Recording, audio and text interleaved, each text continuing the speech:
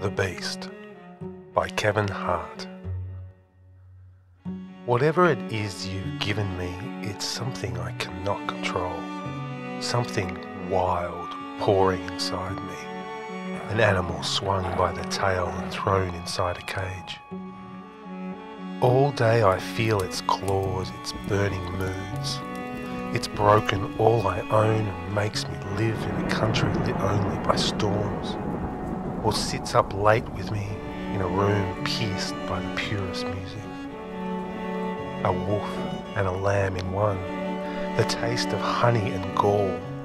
I've done nothing, yet this thing hunts me from within and my body aches as if rubbed with crushed glass. It has no grace, no manners. I've tried to reason, but it backs off into a corner snarling. And yet, it's made me know the strangeness of the seed when the tree inside begins to kick the river's longing, when it feels the ocean's pull. I've tried to feed it, but it grows daily, and when I starve it, I feel it scratching my heart. You've given me this animal you've bred. Tell me, can it be tamed?